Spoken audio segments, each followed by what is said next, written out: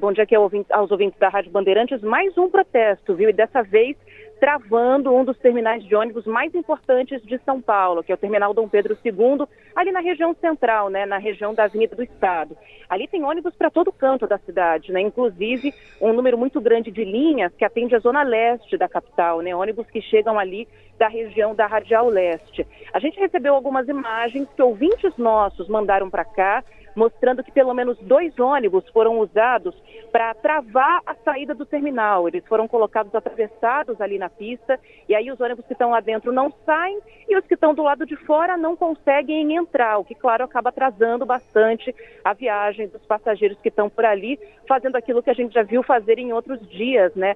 Descerem a pé, tentarem outras alternativas. Ali tem o metrô, né? Então os passageiros estão tentando essa alternativa também. Hoje, a manifestação, pelo que a gente vê, participação do sindicato dos cobradores e motoristas.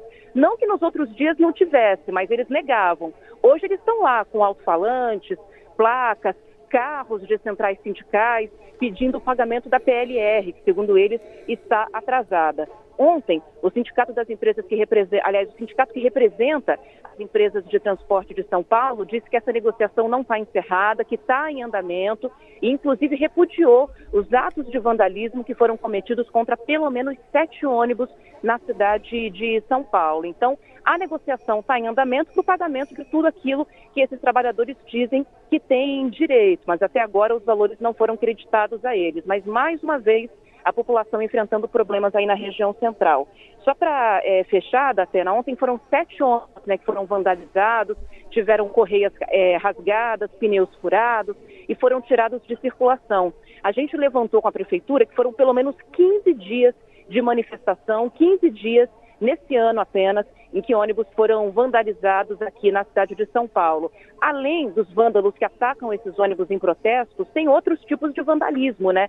Na região central, por exemplo, ataque a ônibus tem sido muito comum, infelizmente, na região da Cracolândia.